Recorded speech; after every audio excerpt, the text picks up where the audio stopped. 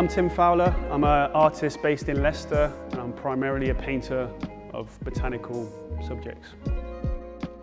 I always enjoyed art, but I was never particularly like a prodigy or the standout student, but I always enjoyed it.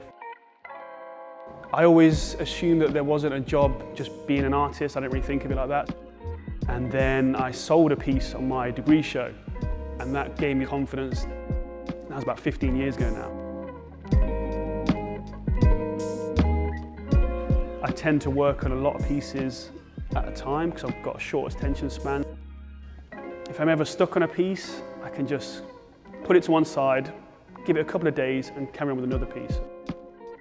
I might start out by drawing up a rough composition outline of, you know, banana plant and then I paint the piece, block certain colours in with acrylic. Once I'm happy with the palette, I will go over certain sections in oil paint. And what I do with the oil paint generally is go over the top of the acrylic, but I tend to smear it in. And this gives really nice depth and it gives the impression of shadow and, and tone.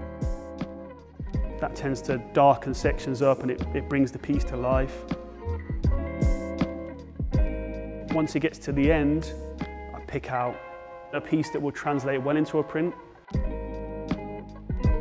All my prints are hand finished. I'll touch up certain pink sections with my actual acrylic pink because for me obviously the colour is the main point, that's my main focus so if the colour's not right on the print I won't let it go out. That makes it more original, makes it more unique.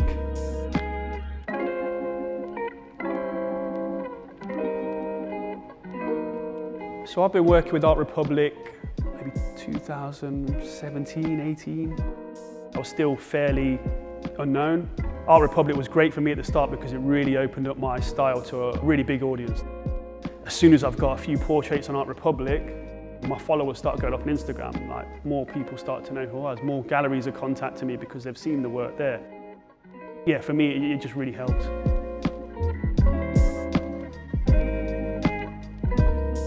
So the colour in my work is the main thing that really people see, they like.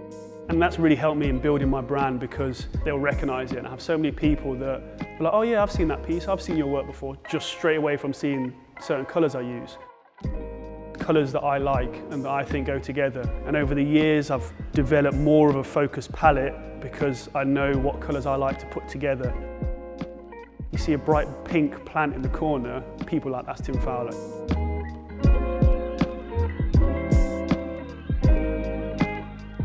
I can do a piece and there's not a person in the world that can tell me it's wrong or right because it's my piece. Like I could do a big black X through the middle of it.